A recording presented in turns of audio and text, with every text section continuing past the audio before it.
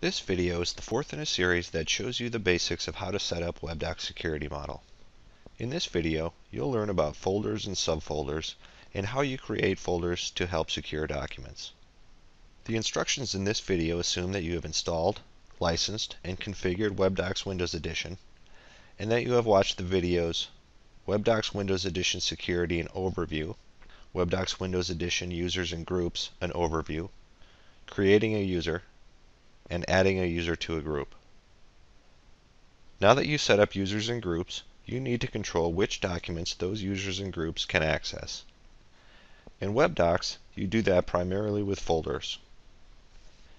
Documents are stored in folders. However, unlike folders in a computer directory, WebDocs folders are not there to help you find documents.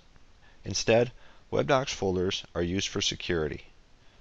You can store all the documents a specific user or group needs in one folder. Then, grant that user or group access to the folder. You may also need layers of security. For example, you might have some accounts payable documents that you want the entire department to see, and other accounts payable documents that have restricted access. You can create these layers of security using subfolders.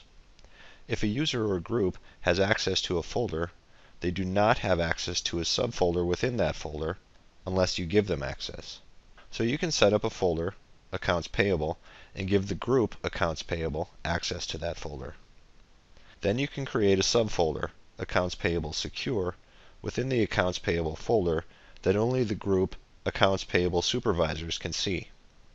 Here's how to create folders and subfolders to meet your security needs. First, log into WebDocs as an administrator. Click the Documents tab. Click Root Folder to create a top-level folder. And click Add Folder. In the New Folder page, type a name for this folder. Then click Save. We get a confirmation message and the folder is created.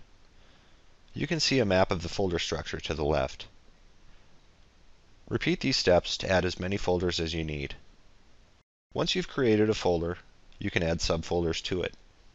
To create a subfolder, click the name of the folder you want to add a subfolder to. Then click Add Folder. In Folder Name, type the name of the subfolder. Click Save and the subfolder is created.